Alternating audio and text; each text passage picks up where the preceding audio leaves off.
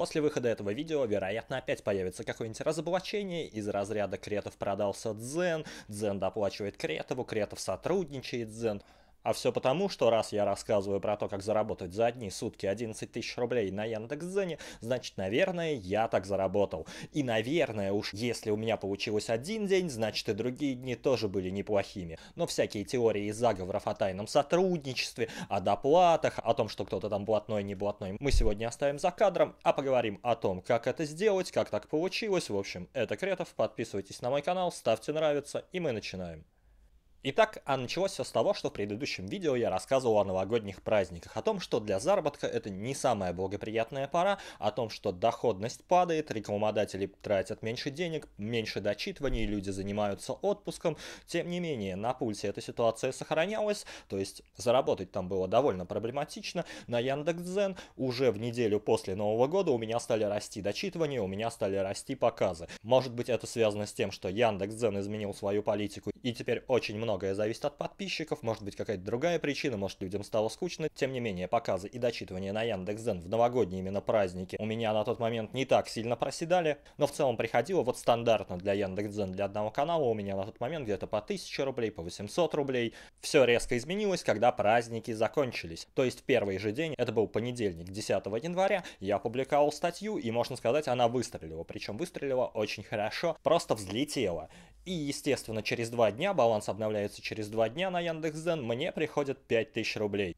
Если быть точным, 5518 рублей. Но я понимал, что это не предел, потому что показы-то продолжали расти и, соответственно, дочитывание. На следующий день мне пришло 11175 рублей, на следующий день 9493 рубля, как видите, эти показатели не то, чтобы один день пришло и все, и остальные дни у тебя прям просадка сильная. Понятное дело, что такой неплохой доход дает в основном какая-то одна хорошая статья. Но помимо этой хорошей статьи у меня было еще несколько статей, которые набирали там более сотни тысяч дочитываний, которые, скажем так, ее поддерживали. Вот, в следующий день мне пришло 7819 рублей. Нужно тут заметить, что в предыдущий день мне как раз заблокировали одну статью за язык вражды, которого там не было. То есть я, соответственно, написал сразу же в техническую поддержку, поддержку, сказал так и так, посмотрите, разберитесь, здесь явно нет этого языка вражды. На что мне ответили, да, мне понадобится время, там, по-моему, чуть более суток они разбирались, потом извинились, сказали, да, все в порядке, статья скоро продолжит крутиться. Мне единственное не нравится, непонятно, сколько они будут отвечать. То есть я в этот же день выпускаю еще одну статью, у меня получается разблокируют ту статью, она начинает крутиться, и одновременно с этим начинает крутиться и статья, которую я только что опубликовал. В какой-то мере они между собой конкурируют. Если бы я знал, что ее разблокируют в какой-то в какой-то конкретный момент в такое-то время, время, если бы был уверен, что разблокируют, потому что мало ли к чему может Дзен придраться.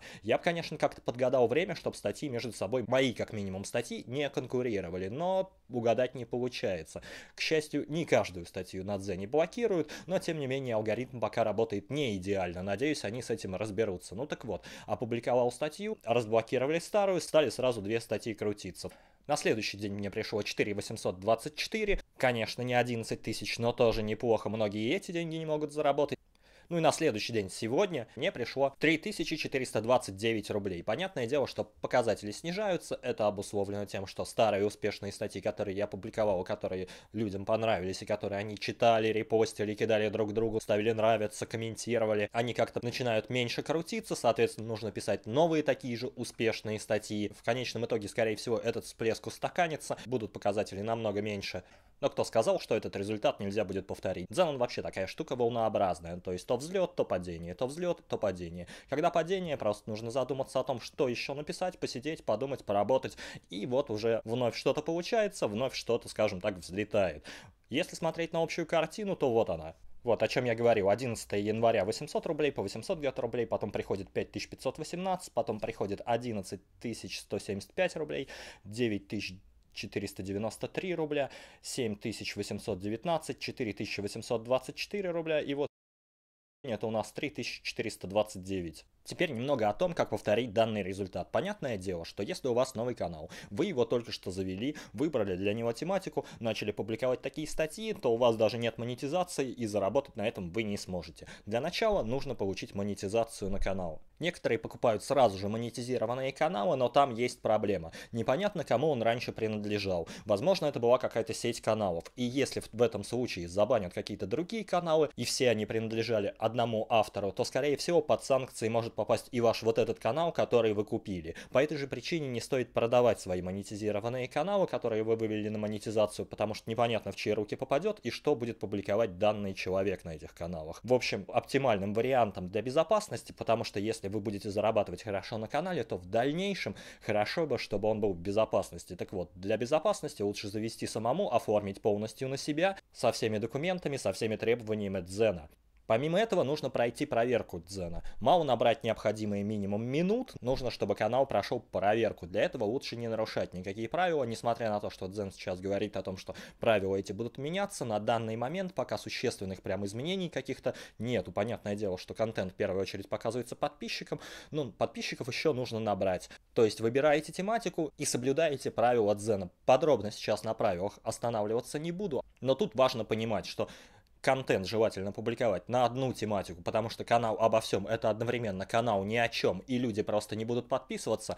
А как объявил Дзен, подписчики теперь самое главное на Дзене. То есть в первую очередь контент будет показываться подписчикам, если они заинтересованы, контент будет крутиться дальше. Дзен даже ввел заработок на подписчиках. Так вот, первая причина, почему именно мне удалось заработать такие деньги на своем канале, это подписчики. Давайте посмотрим, сколько их там на данный момент более 44 тысяч с половиной. То есть, соответственно, аудитория у меня тоже миллион шестьсот. Бонусы я вообще не трачу.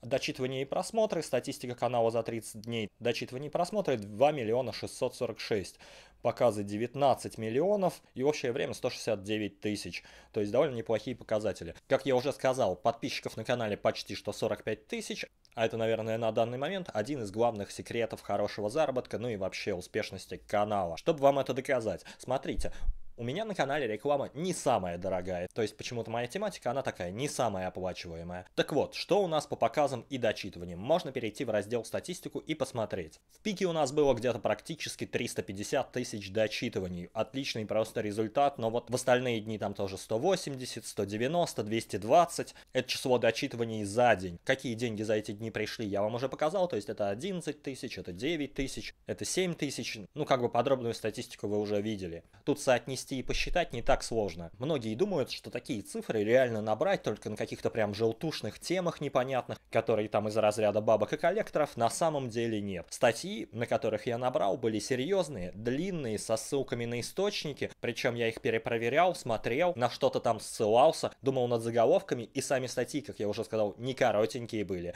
а вполне себе приличные длинные лонгриды. Чтобы примерно оценить объем, ну смотрите, я обычно вставляю по одной картинке на 3-4 абзаца абзаца. То есть абзацы на экране вот такого размера, то есть они не самые маленькие. И вот 3-4 абзаца картинка, 3-4 абзаца картинка. И на одну статью уходило где-то 5 картинок. Получается, у хорошей статьи большое время дочитываний. У нее, поскольку она написана качественно, а не так на коленке, есть свои читатели, которые ставят ей нравится. Получается, я сидел, думал над заголовком, который заинтересует людей, и поэтому они по ней кликали, и у нее высокий стяр, по всем параметрам статья хорошая. А на хорошей статье не так уж уж и сложно набрать огромное число дочитываний. Как минимум люди переходят, как минимум люди читают, как минимум люди пересылают друг другу. То есть о чем это я? По-быстренькому что-то написать на коленке и заработать на этом деньги не получится. Нужно работать, нужно стараться, нужно думать над тем, будет ли это интересно вашим подписчикам, если у вас канал на одну тематику, а он примерно должен быть на одну тематику. Ну и самый главный вопрос, который нужно себе задать после того, как ты написал статью, а стал бы ты сам это читать в ленте. То есть вот своя статья, свой заголовок, ты, чита ты листаешь, естественно, тебе тема тема интересна, раз ты на нее пишешь. Так вот, стал бы ты читать эту статью, узнал бы ты что-то из нее новое или интересное, если бы просто был сторонним наблюдателем, если бы просто пролистывал ленту. Если нет, то зачем ты это вообще писал? Это камень в огород тех, кто пишет 5 секретов успеха. Никто не будет это читать.